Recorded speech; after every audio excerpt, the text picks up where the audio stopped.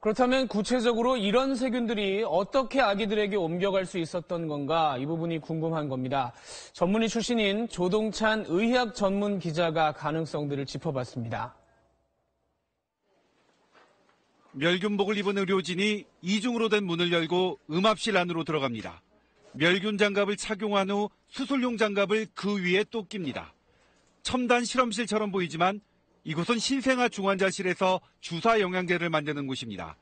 장이 발달하지 못해 먹지 못하는 신생아에게 필요한 영양 성분을 섞어 주사제로 만든 겁니다. 그래서 세균이 침투하지 않도록 철저하게 관리하는 겁니다. 그런데 과거 프랑스, 영국 등의 병원에서 발생한 신생아 집단 사망의 원인은 바로 영양 주사제의 세균 오염이었습니다. 주사제에 있던 세균이 곧바로 혈액으로 들어가 온몸에 퍼지게 되면 신생아에겐 치명적입니다.